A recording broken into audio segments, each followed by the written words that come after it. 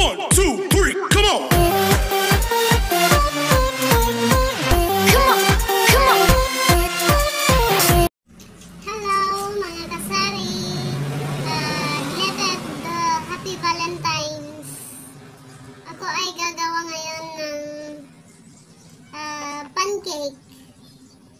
Extra na pinagkikitaan. Ito ang morning routine ko. Uh, every morning, nagluluto ako nito. Kasi nga, Ah, available na banana ngayon kaya hindi ako makapagluto ng maruya. Kaya ito lang muna ang niluluto ko ng ah, simula nung hapon. Monday. Ito muna ang niluluto ko habang wala pang ah, banana. Kaya habang nagkakape ako or habang nag babantay ako dito sa sari-sari store ko, Ah, wala namang masyadong customer sa umaga. Kaya habang nagbabantay ako, nagluto, nagluluto ako ng mga snacks. Kaya ito ang niluto ko ngayon. Ah, 10 cups lang siya.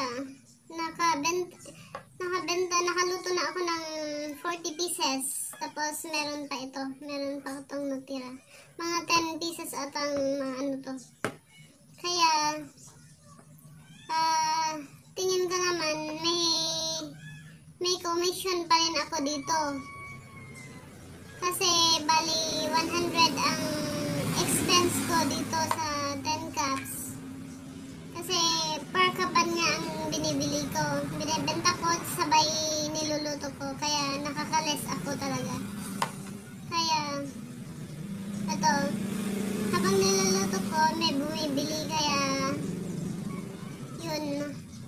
mabentang mabenta talaga. Lalo sa mga bata. Pag ah, bumibili sila, talagang bumibili sila ng pancake. Kaya ito, hindi naman masama magka-extra income. Habang nagbabantay tayo, kung wala tayong ginagawa, magluto-luto na lang tayo ng mga kakanin or mga extra income para hindi tayo hindi sa araw-araw na sales lang tayo umaasa. At least may ano tayo, may extra income tayo. O may isusok-sok tayo sa mga alkansya natin. Or masave yung mga snacks natin, hindi tayo bili ng bili. Lalo sa mga mga may bata, imbes na bili kayo, bibili kayo sa tindahan, gawa na lang kayo. Ma, maano lang ang expense. Ito ang niluto ko, oh. Pero, naubos na yung 30 pieces. Maaga tong maubos. Kahapon, naubos ng before 12 o'clock. Yun pa rin ang niluto ko, 10 cups. Kasi ang ginagawa ko, pag naubos, magluluto na naman ako.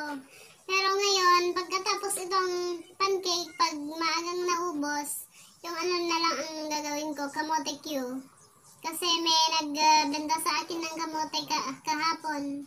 Naisipan ko na yun na lang ang gawin ko, kamote Q. Kaya yun. Ah, kahit matumal ang benta ngayon, may extra income naman tayo. May extra pinagkikitaan, kaya hindi natin maano yung tumal.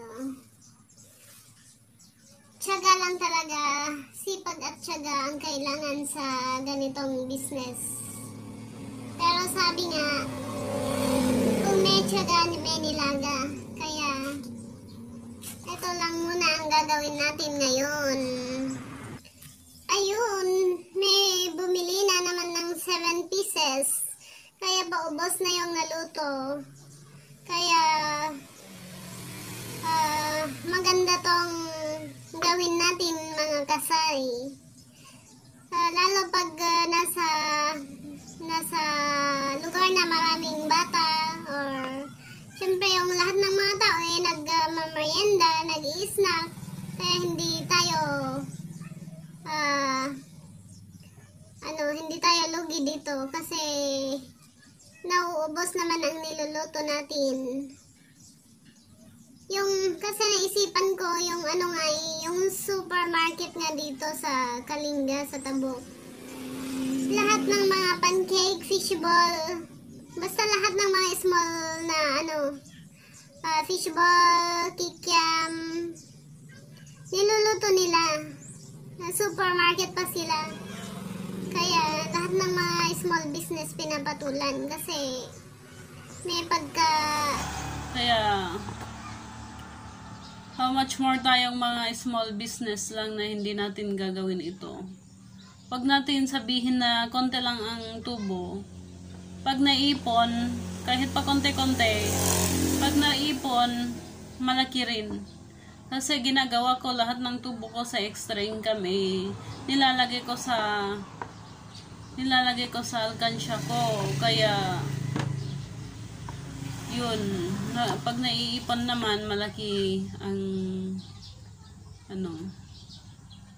Kaya tayong, kayang mga kasama kong kasari dyan, kung ah, gusto nyong mag, magka-extra income, gawin nyo to. Yung mga alam nyong ano, yung alam nyong pwedeng pagkakakitaan. Yung alam natin pwedeng pagkakitaan gawin natin para hindi natin ah, ma-feel yung tumal. Kaya ito, luto-luto. Ah, hindi naman ma mahirap gawin to, pancake na to. Ano lang, ah, harina lang, sugar, nilagyan ko ng itlog, tsaka evap, para soft siya. Kaya ito ang gustong gusto nila sa pancake na ginagawa ko, soft. Kasi nilalagyan ko ng itlog at saka evap. Hindi kagaya ng ano. Kaya yun. Ano lang naman, bali yung 10 cups na yun eh. ah, 150 ang 150 ang ang kita ko. Pero pag two times, eh, paano kung two times akong nagluto? Kasi pag naubos to, before 12 o'clock, magtitimpla na naman ako. Kaya lang may iluluto nga akong kamote Q. Kasi pag minsan, two times ako nagluluto ng isang araw. Eh, bali 300 ang kita dun. Pwede na yun. Para ano, Imbis na yung kita sa store ang gagastusin natin, itong extra income or yung kita sa store ang gastusin, tapos itong income sa extra income yun ang ilagay natin sa Alkansya challenge natin. Maipon din at uh, lumaki. Sabi nga nila, kung gusto mo, may paraan. Pero kung ayaw mo, maraming dahilan. Yun ang mga laging sinasabi ng mga business sa panonood ko ng mga chinkitan. Kaya salamat sa mga video at sa ibang pinapanood kong video. Tapos kung hindi nyo alam na mag ah, magluto, mag-YouTube na mag-YouTube na lang kayo. Maraming natututunan sa mga YouTube. Mag-search na lang kayo. Yun lang ang share natin. Share ko ngayon. Ah, araw. Ito ang every morning routine ko. Habang nagbabantay, nagluluto. Kaya hindi nasasayang ang oras natin pag ah, ginagawa natin ito. Babush! Happy sailing!